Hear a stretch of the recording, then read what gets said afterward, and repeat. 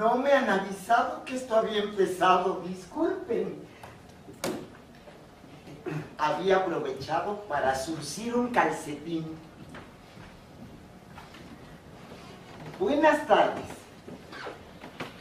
Gracias por asistir a la presentación de mi diccionario de uso del español.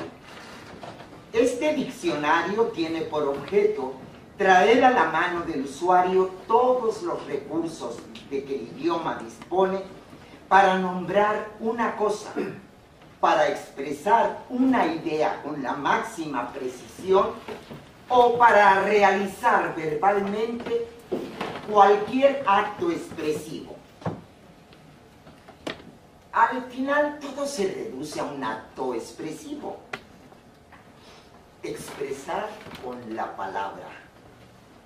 Qué difícil a veces, pero qué necesario expresar y entender.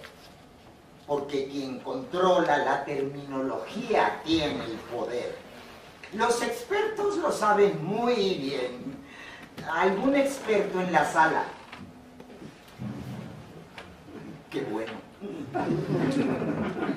La verdad, tengo que confesarles que no estaba muy segura de que fuera a venir nadie. Un diccionario no es un tema que levante pasiones. Yo misma he estado a punto de no venir. Esta mañana me preguntaba, ¿pero qué voy a decir yo si en toda mi vida no he hecho más que surcir calcetines? Pero no es cierto. Tenía que venir. Necesito explicar por qué.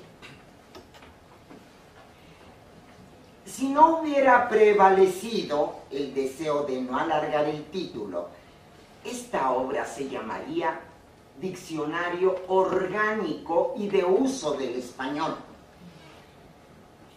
Desde luego, todo empieza con un acto expresivo.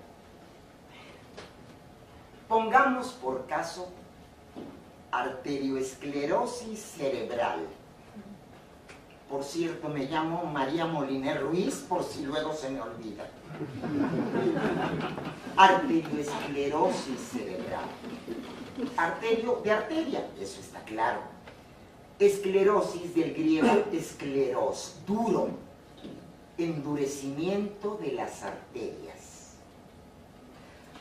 El doctor... Las lesiones cerebrales pueden ser hemorrágicas o isquémicas.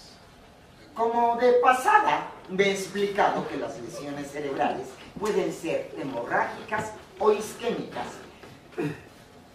En mi caso, aún no se sabe. En su caso, aún no se sabe. La arteriosclerosis cerebral se asocia a cardiopatías, diabetes mellitus, dislipidemias, hiperlipidemias, nefrosclerosis y a la edad. El médico emplea un lenguaje hecho para asustar. Pero por ahí no me va a ganar. Les decía, se llamaría Diccionario Orgánico y de Uso del Español, porque en efecto, por un lado, se reconstruye mediante catálogos de referencias la agrupación lógica de los conceptos. Y por otro lado, por otro lado, lo bueno que tiene ser diccionarista en lugar de médico es que una puede ver las cosas desde otro punto de vista. Buscar los orígenes. Isquemia, por ejemplo. Del griego isque, detener. Y hemos, sangre. Detener la sangre. Dicho así, suena menos amenazador. Es una palabra hasta hermosa. ¿No les parece? Isquemia.